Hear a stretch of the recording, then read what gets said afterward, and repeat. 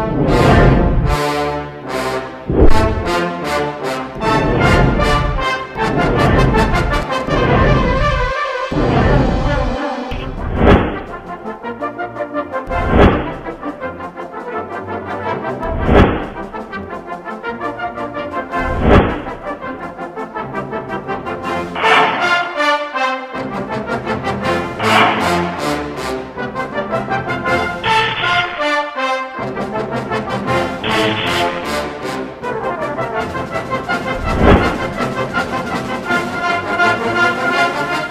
今天这个气势不错吧？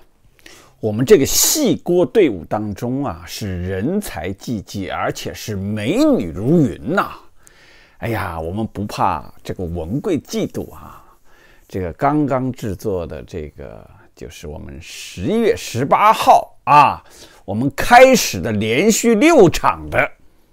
有关我们这个黄河边播报今日八点钟，今晚八点钟的这个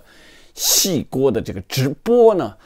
呃，我们有三位女将啊，分别制作了精彩的预告片啊，我们不断的推出。今天呢，先推出啊，这个在片首推出一个，在片尾再推出一个啊，我们明天继续上新的。现在呢，其实啊，我们撇开政治的这个范畴的话呢，现在就是一九四九年的九月了，应该说呢，大局已定啊。郭文贵应该说是一个流氓犯罪团伙，应该说已经到了一种强弩之末，离最后归天驾崩已经不远了。那么在这个时候呢，呃，我们也要奉劝蚂蚁帮的人啊，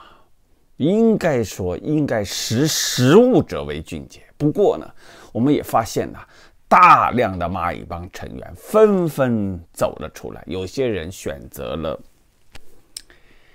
静思，有的人选择了啊沉默，还有一些人呢选择了公开向郭文贵的这种欺诈行为啊进行批判。那么每个人的选择我们都尊重。那么今天呢是二零一八年的十一月十二号。啊、有些朋友讲啊，我好久不向这个郭文贵喊话了啊。今天我们先向文贵喊喊话。文贵啊，耶稣上帝、释迦牟尼、穆罕默德，万福万神，希望你迷途知返，回头是岸。剩下的时间不多了，请赶紧举起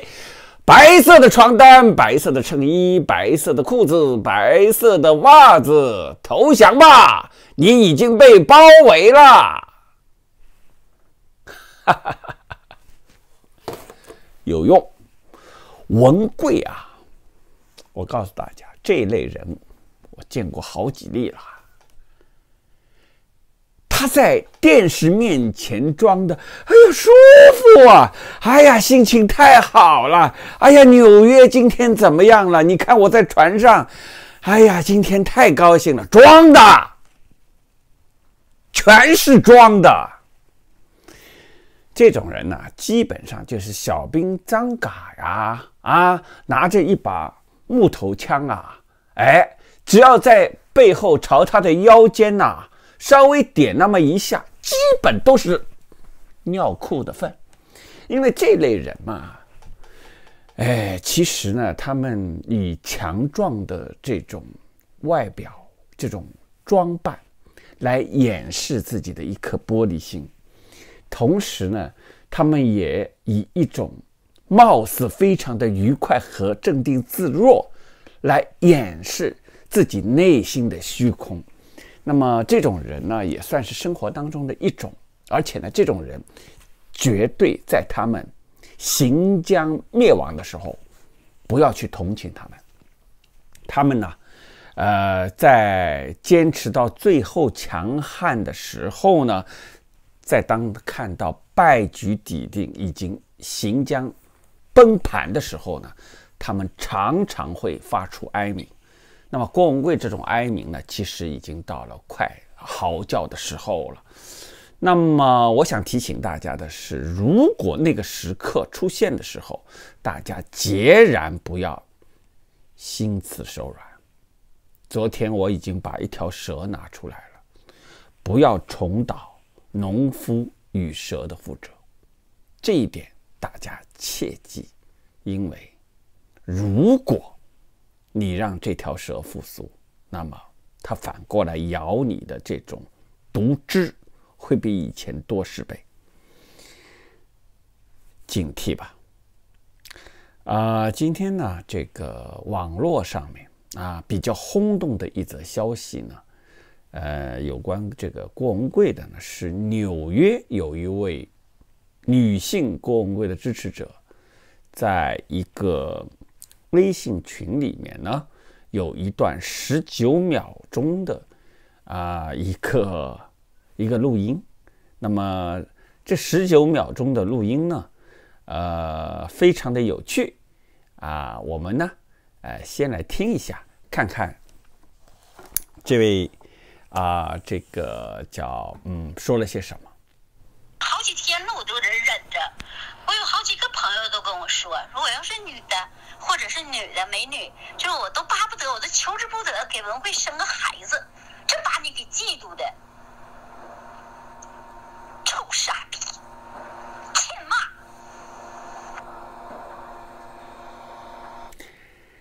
呃，这则录音呢，呃，是我查了一下啊，我了解了一下这个录音的来源，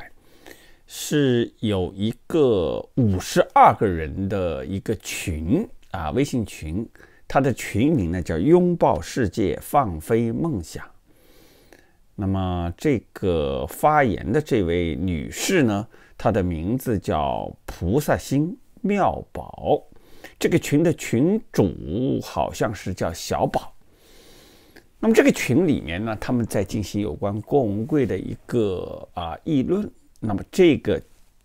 这位女性啊，就是这个菩萨心呐，哎呀，这个不是菩萨心呐，啊，这位应该口音有一点东北口音啊啊。这位女性的这番话呢，也让人觉得也非常的可笑，啊，那么就说呢，嗯，如果要是女性的话呢，啊，那么他们都希望给郭文贵生孩子、生宝宝，就等于就是生个小郭文贵，等个生个小骗子。我觉得这个有一点夸张了。我相信有些人呢，呃，可能啊，呃，到今天呢。还是痴迷在郭文贵的那些骗局当中，那么这个呢也不奇怪，因为大家发现没有，其实生活当中有有一些女性是特别容易上当受骗，而且呢，她们为什么一而再再而三的在自己的感情经历当中碰到渣男，那是因为他们的啊血液里面有一些和这些渣男相呼应的那些因子的。所以呢，很多人呢，他经不起那些骗子的那些骗术的蛊惑，所以常常呢会跌进由骗子设计的陷阱当中。但是骗子到最后是非常的残忍，他们截然不会以你的痴情，然后呢对你有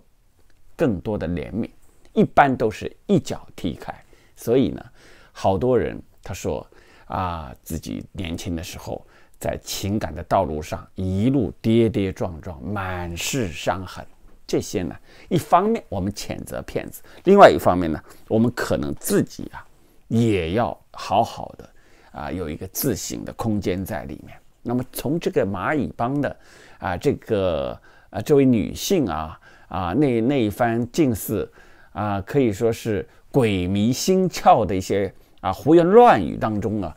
我们可以看到今天的蚂蚁帮究竟是由哪一些脑子基本不在状态中的一些人组成的啦。啊，这也让我们感到一些忧心如果这些人说是要去推动中国的民主，那么在一个啊偶像啊一个专制的这种偶像没有被啊这个摧毁之前呢，新的偶像又出现了，这就是一些中国人的宿命，也是一些中国人的一些悲哀。啊，那么我个人呢，最近都一直关注啊这个幺幺幺九王建之死记者会啊，那么之后蚂蚁帮的生态，那么我可以负责任的告诉大家，这个幺幺幺九之后将令这个整个的这个蚂蚁帮面临一次大的离散。那么这次离散呢，是继去年到今年的三次啊，可以说是大的分崩离析之后啊的又一场分崩离析。那么自从去年的，呃，应该说是从去年十月份的啊，郭文贵啊把这个国际记者会放了鸽子之后，大批的。这个蚂蚁帮的成员呢，就选择离开，因为那一场这个国际记者会放鸽子呢，对很多蚂蚁帮的人所积累的对郭文贵的怀疑呢，是一次总的爆发。那么之后到了今年，也就是在今年的啊，我们所说的这个。爆料协调中心啊，我们叫爆协啊，成立之后，那么郭文贵面临的一次，也就是第二次，关于他内部的，可以说是从最上层的组织架构的骨干当中的一次大的分裂，导致大量这个郭爆料的支持者呢啊开始分裂，而这种分裂呢一直延续到现在。那么第三次当然是五一共振。那么五一共振其实是一次分水岭，因为很多人就发现郭文贵只要是和这个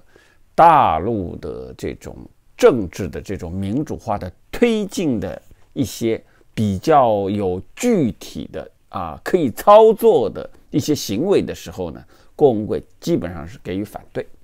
那么这个呢，也导致了海内外那些急切希望中国尽快民主化的人们的怀疑，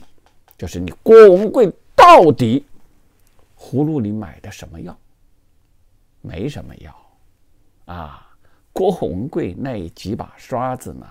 其实就是北京天桥上的那个艺人的那个刷子，它只是重复的来进行。不过我在这里。并没有任何啊矮化北京天桥艺人的意思，而是说呢，郭文贵把这个伎俩呢用到了推动中国的所谓的民主上面去。其实呢，他就是蒙骗了每一个啊对中国的民主怀有信仰、怀有信念、怀有情怀的那些人们。这个其实是一件丧天害理的事情，但是呢。郭文贵发现以前没人玩过这一把，所以呢，他是越玩越嗨，玩到最后呢，天天被我们扒底裤，这个都是他自己造成的。那这个应该说呢，这一次郭文贵爆料之后，啊，爆假料之后吧，啊，每一次走出来了大量的人员，啊。使他的整体上面郭文贵的这一个蚂蚁帮呢，现在已经是变成是分崩离析啊，离彻底覆灭已经为时不远了。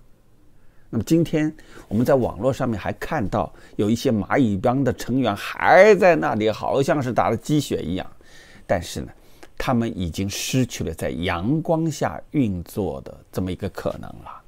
百分之九十以上的人，应该是在这个世界上，你不会见到他们真实的面容，他们也不敢在阳光下面出现，很多都是一些，我认为是，啊，不管是精力和精神，都有一些，嗯，都有一些技术性障碍的一些人们，他们通过这种方式呢，来消解一下自己的情绪，或者呢是来，哎，这个业余时间嘛。啊，让自己松弛松弛一下，和整个推进中国的民主大业是没有任何的关系的。那么，你们可以从这个蚂蚁帮啊，现在浮出水面的那些人当中啊，你们就可以看得非常的分明，几乎没有什么敢露真脸的人了，包括这次幺幺幺九的这个。国际记者会没有国际记者的国际记者会当中呢，啊，本来呢还有另外两个啊，这个也是属于造谣平台的啊自媒体，也是收到邀请前往充数，但是呢都被婉拒，或者说呢，呃，当事人呢因为种种顾虑不敢露脸，所以蚂蚁帮呢其实就是一个蒙面丐帮。这个蒙面丐帮呢，最后呢，是因为郭帮主的最后的覆灭呢，导致整个的崩盘。那么有人会问了，这个郭文贵到了他应该去的地方之后，那么剩下究竟会有谁？他们又是以怎样的方式来谢幕呢？那么我们可以做一个，呃。应该说是比较乐观的估计吧。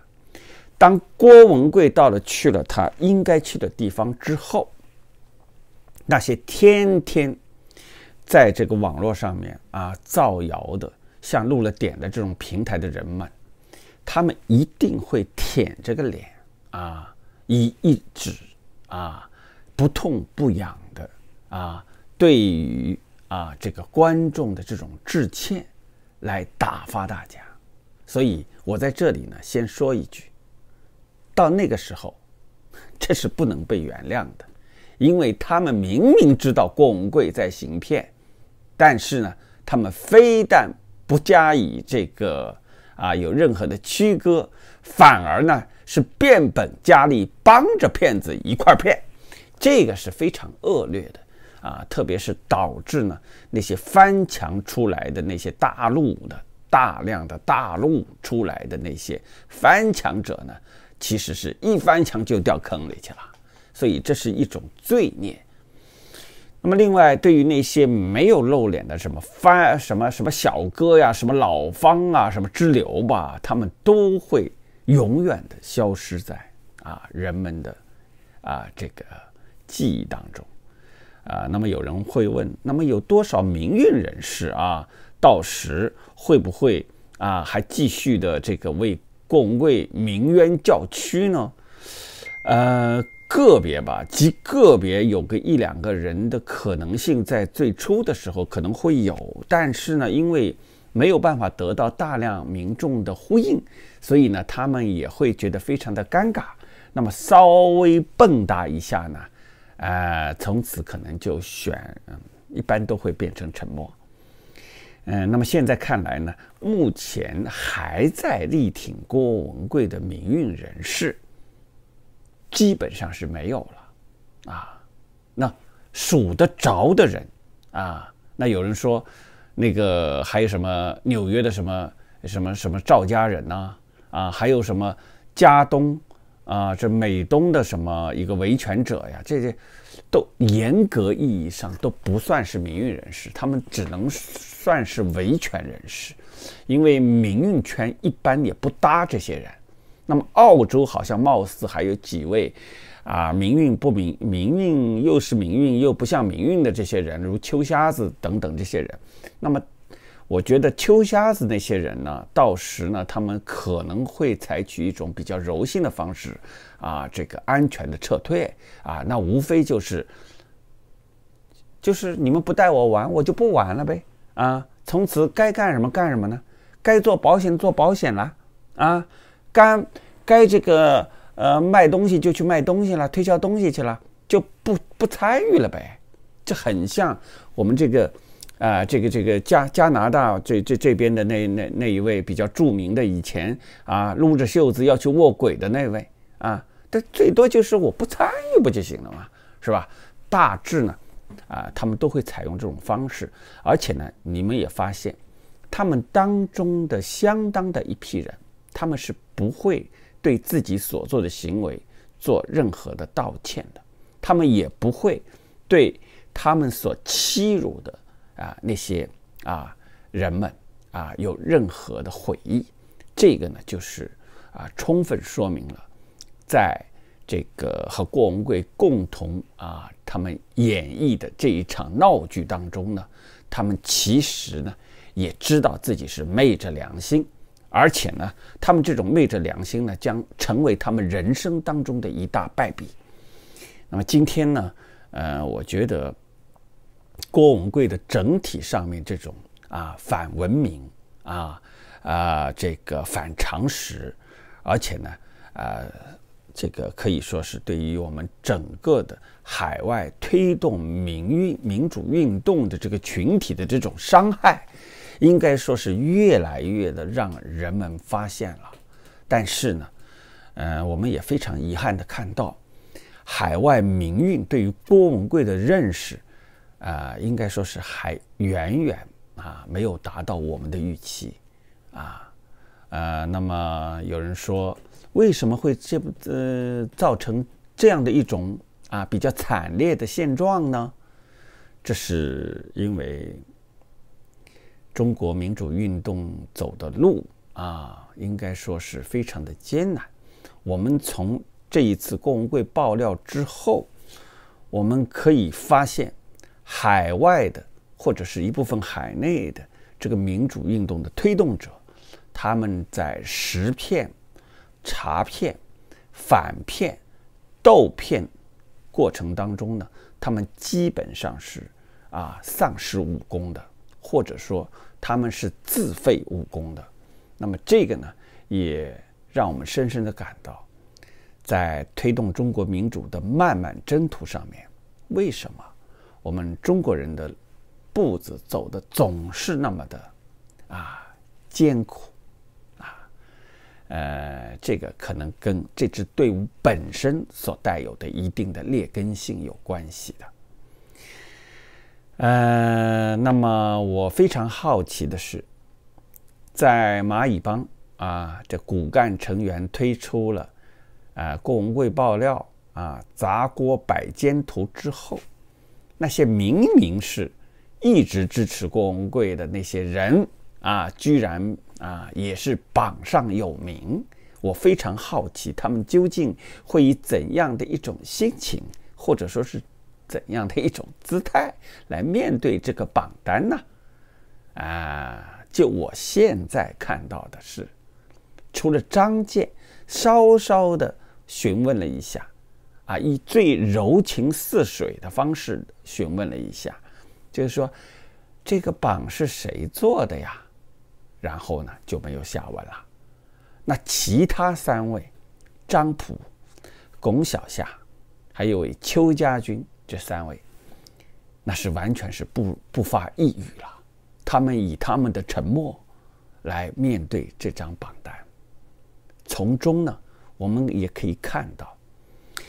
在反对所谓的他们眼中的专制的这个啊这种恶魔面前呢，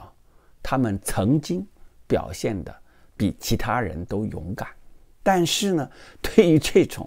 明明是啊一种非常搞笑的，对他们带有一定屈辱性质的那种啊做派和行为呢，他们好像根本无所谓。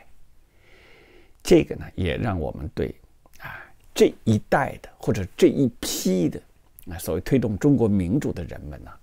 呃，我们表现出一种我们的好奇，你们的血性在哪里啊？你们的那种啊，曾经所拥有的那种斗志又在何方呢？哎，所以我曾经提出过啊一个口号，叫“反共必先攘骗”。或者叫反共必先攘贼，那么这个呢，用在对待郭文贵身上是非常非常的重要。好了，还有今天是十二号，还有七天，也就是还有一周啊，我们这个王建之死的记者会就要举行了啊，我们对这个记者会非常的期待，因为呢，我们可以看到郭文贵啊，以最精湛的演技来诠释他是一个骗子的全过程。那么最后呢，呃，我也要非常欣喜的告诉大家，有越来越多的女性的郭文贵的批判者呢，纷纷站起来。今天呢，啊，我白天啊看了这个张新平女士啊接受《意志》啊的采访啊，对于这个啊曾红啊的这个和他之间的交往，他为什么要对曾先生提出这个法律？这个诉讼呢，啊，这个把这些前因后果呢，都说得非常的明了，啊，应该说张女士啊，勇气可嘉，啊，因为呢，我自己也知道，啊，这个一段时间以来呢，啊，一个整天在自己的屋里设灵堂，然后呢，活以活祭啊，这个家人呢，啊，这个为乐的一个东北老流氓，还有一位呢。就是，啊，众叛亲离啊，以欺辱帮助过自己的啊这个人为乐的这个重庆的这种啊啊小混混啊，不断的啊这个瞅着这个郭文贵的这个钱袋子啊和那些与自己毫不相干的啊那些批评郭文贵的人们呢啊进行啊可以说是啊最无耻。最下流的啊，这种丑化和攻击，呃，应该说是严重突破了文明的底线啊！特别是东北老流氓，那个做法简直是到了令人发指的地步。但是呢，他们觉得吧，这个自己所做的行为似乎不会受到惩罚，所以越干越欢。但是没有想到，最后站出来直接对他们进行司法诉讼的，却是两位纤弱的女子，一位就是美猴王，一位就是张新平女士。哎，这一刻呢，我自己也感到非常的羞愧，因为这一段时间以来，光顾着瞄准初冬的大王八。真没顾上秋后的小蚂蚱，所以呢，要向这两位啊勇敢的女士、坚强的女士啊致敬。嗯，最后我们再看一下啊，我们即将举行的啊这个黄河边播报啊，今晚八点钟啊，今日戏锅秀的直播的预告。那么这一场直播呢，将于十一月十八号，也就是王建之死记者会的前一天隆重举行，而且是连续啊六天啊每晚八点钟举行。那么，请看一下。